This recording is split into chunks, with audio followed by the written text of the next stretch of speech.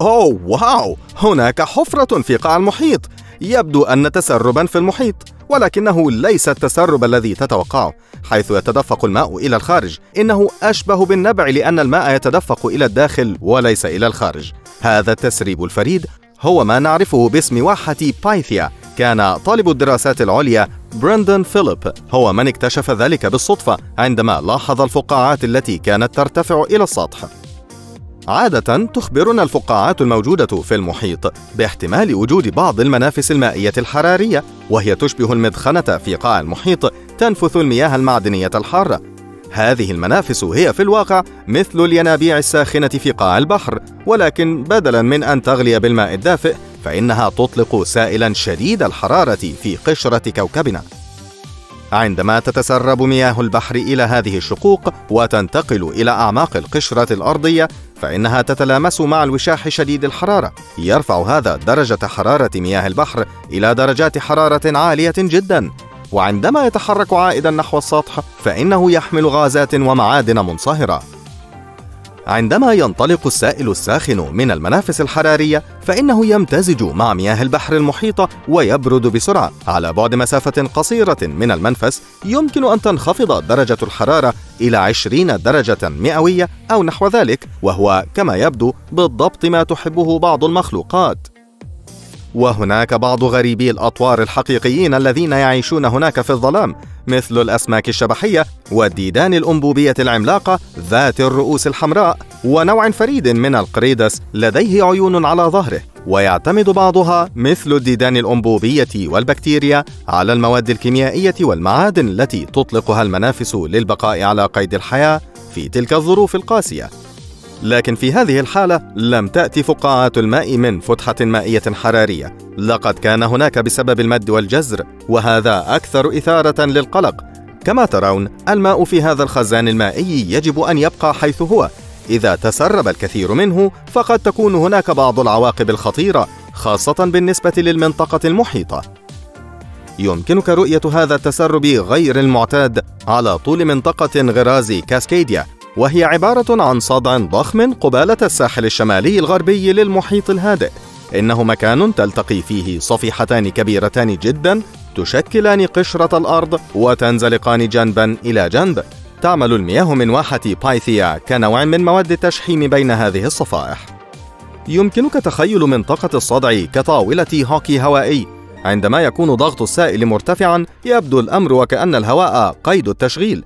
وهذا يعني تقليل الاحتكاك بين الصفائح مما يسمح للصفائح بالتحرك. ولكن إذا كان ضغط السائل أقل يمكن أن تلتصق الصفيحتان معا مما يؤدي بعد ذلك إلى تراكم الضغط عليهما. لا يعني ذلك أنهم سيشعرون بالإعياء. ففي سياق الصفائح التكتونية الضغط هو بعض الكبس أو القوة التي يمكن أن تسبب التشوه.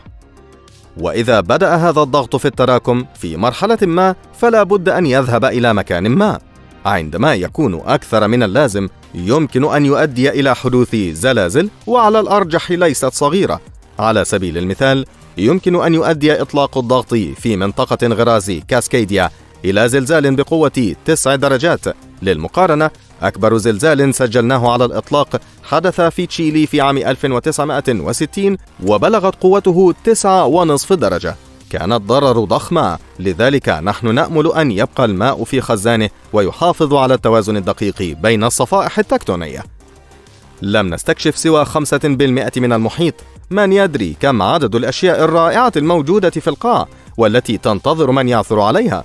على سبيل المثال تحقق من هذه الفتحات التي عثر عليها العلماء في أعماق المحيط الأطلسي بالقرب من جزر الأزور.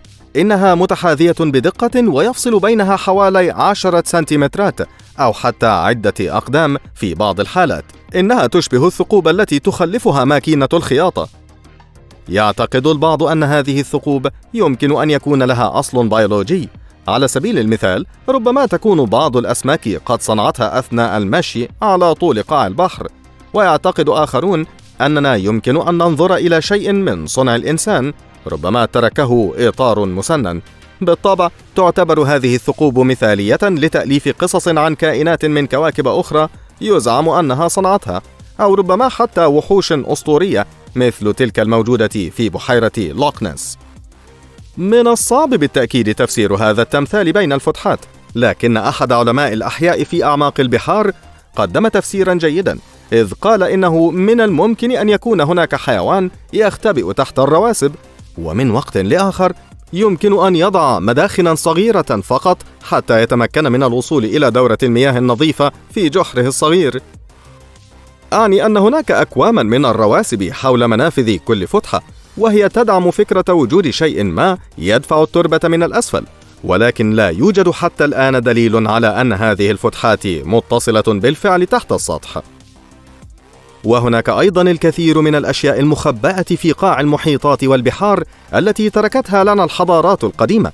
على سبيل المثال اكتشف علماء الآثار اكتشافا رائعا قبالة الساحل الجنوبي لكرواتيا وهو طريق مختبئ تحت طبقات من الطين البحري. يبلغ عمره سبعة آلاف عام. لقد عثروا على الطريق القديم في موقع سولين الغارق من العصر الحجري الحديث. كان موقع سولين جزيرة من صنع الإنسان في العصور القديمة وقد اكتشفها عالم الآثار ماتي باريكا منذ عامين 2021 كان يدرس صور الأقمار الصناعية للمنطقة المحيطة بكورتشولا إحدى الجزر الكرواتية الجميلة وعندما أدرك أنه من الممكن أن يكون هناك شيء مثير للاهتمام في قاع البحر غاص في الماء مع زميله.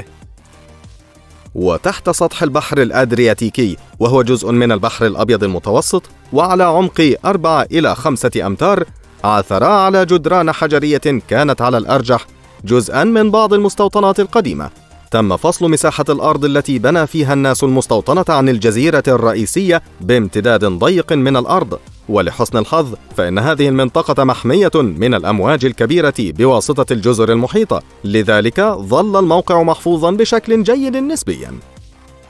وهي الآن مخفية تحت سطح البحر ومغطاة بالطين ولكن من المثير أن نتخيل كيف سار الناس على هذا الطريق منذ ما يقرب من سبعة آلاف عام لزيارة المستوطنات القريبة.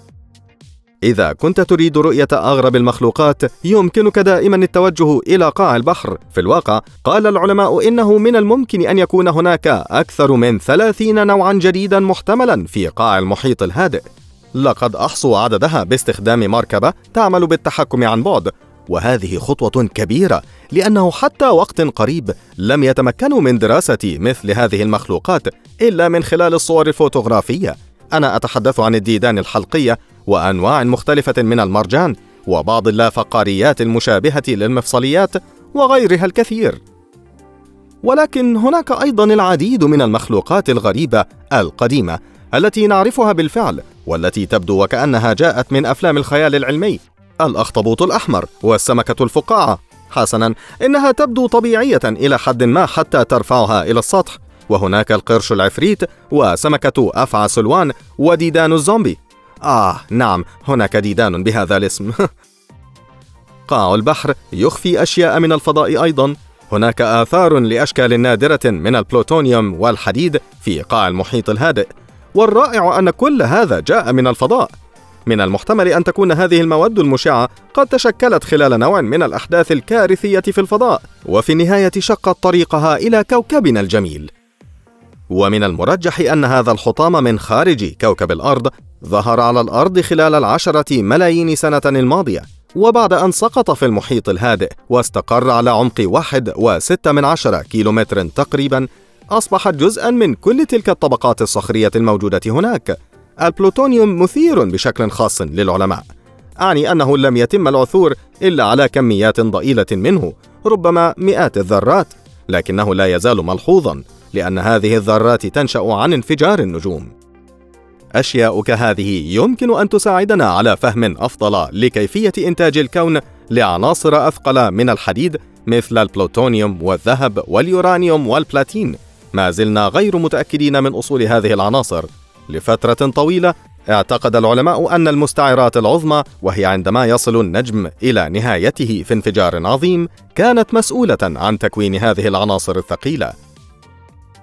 ولكن يبدو أن الأمر لا يقتصر على ذلك فحسب بل قد تكون بعض الأحداث الكونية الأخرى مثل اصطدام النجوم النيترونية وهي نجوم منهارة فائقة الكثافة أو بعض الأنواع النادرة من المستعرات العظمى سببا أيضا. واو! اسمحوا لي أن أحضر الفشار الخاص بي.